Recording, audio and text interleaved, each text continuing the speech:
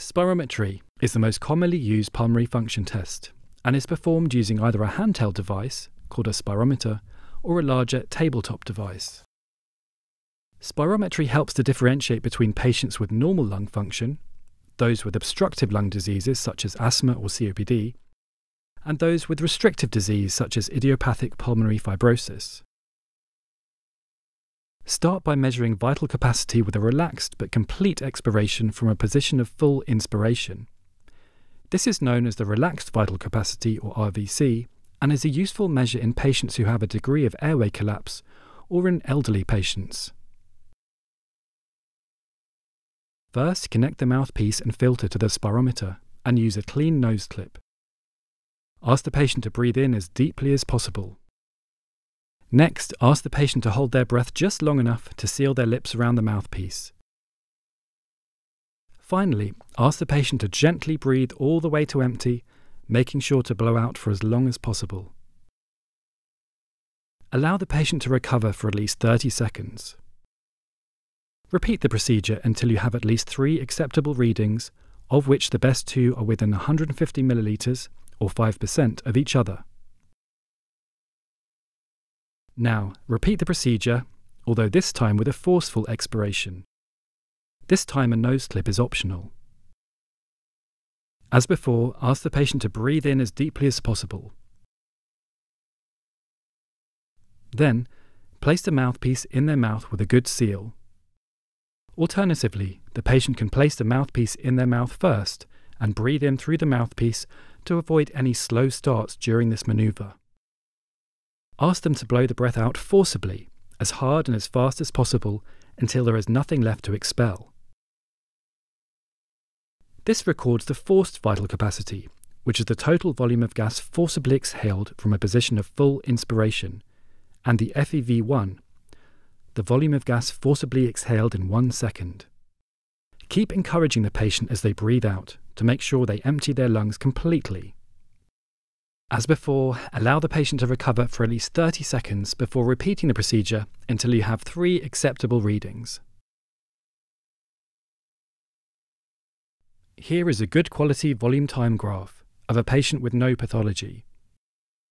There is a steep slope at the start with a plateau at the end of expiration. And here is a good quality flow volume loop of a patient who does not have pathology.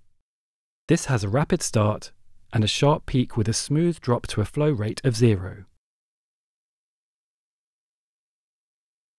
As well as looking at the shape of these graphs, the ratio of FEV1 to FVC is important.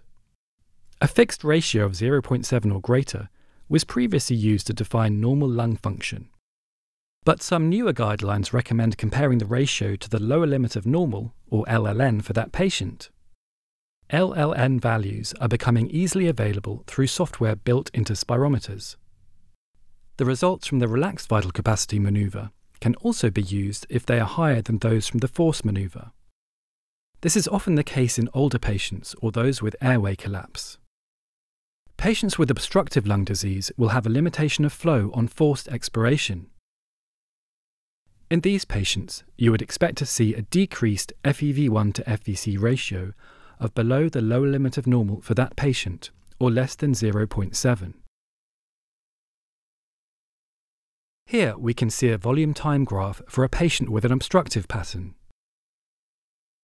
The FEV1 is reduced, and a plateau was only reached after several seconds of expiration. And here we can see a flow volume loop for a patient with an obstructive pattern.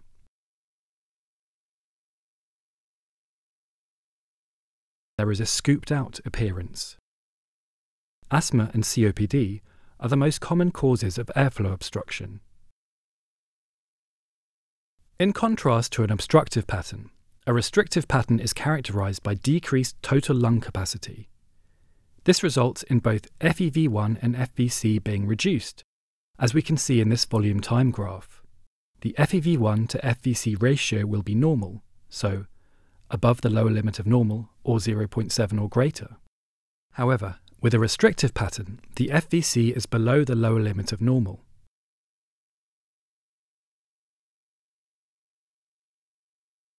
Here, we can see a flow volume loop for a patient with a restrictive pattern.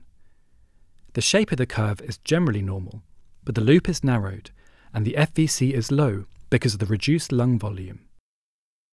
Causes of a restrictive pattern include idiopathic pulmonary fibrosis, obesity, deformities of the chest wall, and neuromuscular disease.